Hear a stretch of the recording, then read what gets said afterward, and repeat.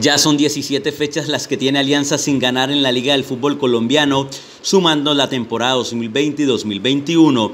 El fin de semana el equipo de nuevo perdió esta vez 2 por 0 de visitante enfrentando al Junior. Digamos que sale uno aburrido y triste por el resultado, porque creo que hicimos un buen partido, creo que lo dije antes de arrancar que vamos mejorando y habíamos hecho un gran partido donde generamos opciones, donde supimos aguantar bien, donde esperamos, donde le cortamos, eh, digamos que los circuitos de juego a Junior, a sus hombres importantes.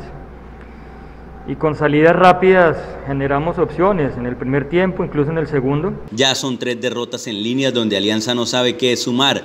Pese a tener un primer tiempo frente al Junior, bueno, no fue suficiente para no perder. Pero al final creo que bueno, ahí están los jugadores, marcan una diferencia grande los jugadores que tiene Junior, Teo, Borja, me puedo poner a nombrar uno por uno, Viera que en un mano a mano saca una pelota que, que ya estaba jugado.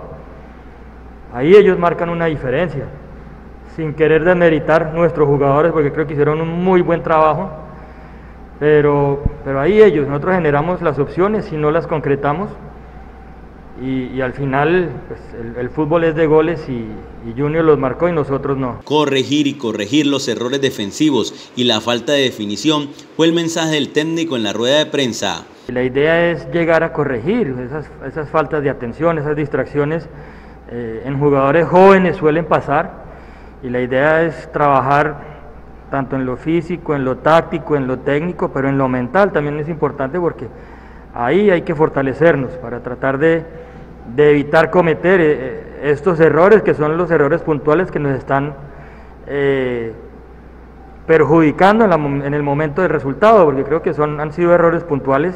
Ahora Alianza se prepara para su nuevo compromiso, esta vez enfrentando a la Once Caldas en el estadio Daniel Villa Zapata.